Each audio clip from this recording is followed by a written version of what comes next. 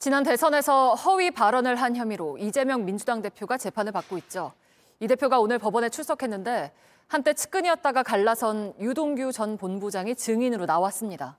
대장동 의혹이 불거진 뒤 처음으로 법정에서 만난 겁니다. 또 출석 때 이 대표를 향해서 달걀을 던진 사람이 체포되는 일도 있었습니다. 박사라 기자입니다. 이재명 민주당 대표가 법원 현관으로 들어서자 지지하는 쪽과 반대하는 쪽이 뒤엉킵니다. 이때 80대 남성이 이 대표를 향해 계란을 던졌습니다. 이 대표가 맞지는 않았지만 이 남성은 현장에서 체포됐습니다. 이 대표는 아무 말 없이 법정에 들어갔지만 오늘 유동규 씨와 첫 법정 대면인데요. 입장 있으신가요? 유 전 본부장은 비판을 이어갔습니다.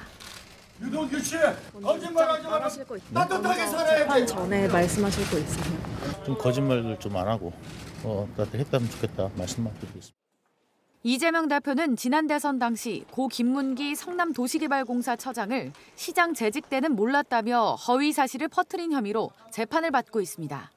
대장동 의혹이 불거진 후 처음 만난 두 사람은 법정에서 눈도 마주치지 않았습니다.